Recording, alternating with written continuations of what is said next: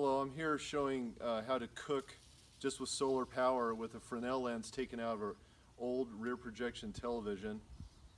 This is one of those uh, grill uh, devices for holding hot dogs or fish, usually used for barbecuing, but I, I actually can hold this at a certain length from the lens and it will cook the hot dogs. Why don't you come in here closer, Caroline, and show how it's cooking those. You can hear them cooking. So I'll just do this side, I'll do the other side. Now you have to hold it the right length or else it, it cooks too intensely. Like right there, you see how it cooks just too fast. So I have to hold it just about right and it'll cook them. It's, it's cooking them for sure. Here, I'll show them outside the light. So they're, they're cooking. There's the other side. And I'm just cooking them here uh, in my driveway with a Fresnel lens. Thanks for watching.